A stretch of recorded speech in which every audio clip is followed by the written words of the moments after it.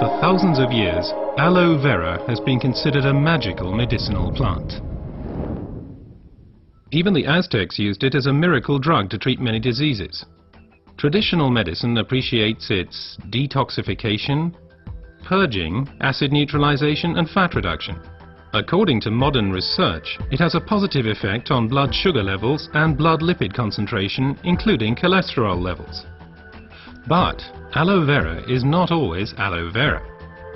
Real aloe vera, the Aloe barbadensis, is a desert lily and is cultivated in arid regions, primarily in Central and South America. The effects of aloe vera are strongly dependent upon how it is processed, and the differences already begin with how it is harvested. In order to avoid damaging the plant, the leaves should ideally be cut by hand. As the outer skin of the leaf contains poisonous aloin, a substance that protects the plant from animals and has a laxative effect on humans, the skin must be carefully separated from the inner leaf gel. This leaf gel is the most valuable part of the aloe vera plant. The gel has been proven to contain over 150 vital substances, such as vitamins, enzymes, polysaccharides and trace elements. It's this unique combination of ingredients and the way in which they interact with each other that results in the healing effect. One of the most important plant substances is acemannan, which has a positive effect on the immune system and can also reduce inflammations and free radicals. The result? The oxygen supply improves. Let's take a closer look at this fact. Blood is supplied with oxygen in the lungs and then transports it via the blood vessels into the cells. The large blood vessels branch out, becoming smaller and smaller, until they turn into tiny capillaries. Capillaries, by the way, are the smallest blood vessels. This is where the oxygen passes over from the blood vessels into the cells.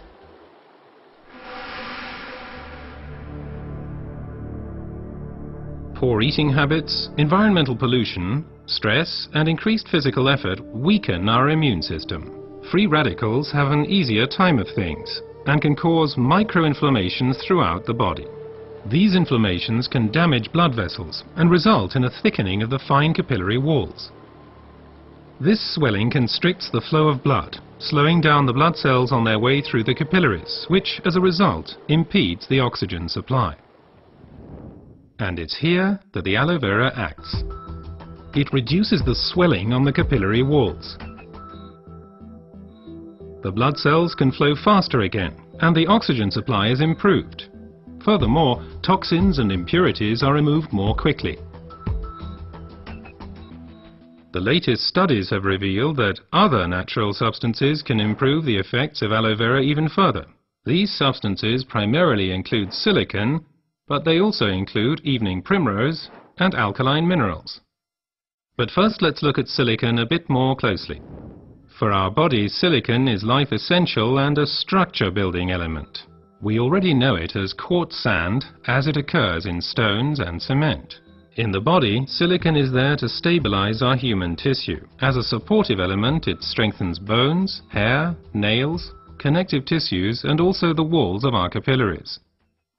As we grow older, the capillary walls have a tendency to lose their form and resilience. They can literally collapse, interrupting the blood flow. At the worst, this can lead to a stroke or a heart attack. Silicon strengthens and supports the capillary walls, thereby keeping the bloodstream open. As a result, the erythrocytes can now supply the cells with oxygen more efficiently. Silicon in its original form as quartz sand cannot be absorbed at all by the human body. Alternatives can however be found in nature. An ideal plant-based source is the stinging nettle. It is rich in natural silicon which can be better absorbed by humans.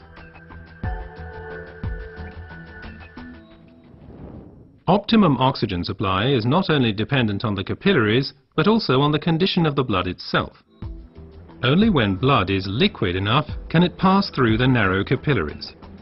For improving flow properties of blood, we have evening primrose with its polyunsaturated fatty acids and basic alkaline minerals. Polyunsaturated fatty acids make the blood thinner.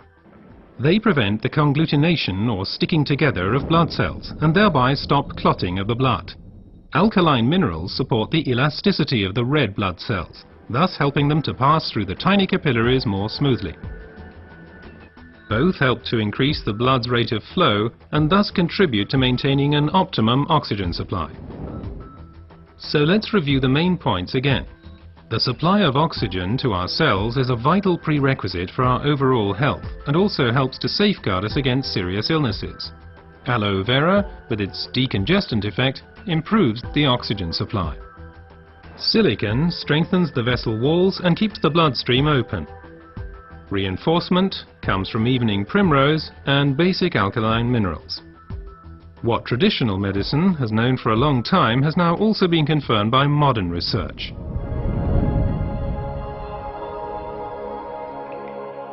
Aloe vera improves your oxygen supply and therefore your general health. Because oxygen means life. Place your trust in aloe vera.